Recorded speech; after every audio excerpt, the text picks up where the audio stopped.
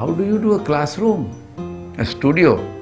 So there are many sketches of Corbusier's about the studio and what not. You don't know, you want to get north light, south breeze. So climate is there already. You have a structure.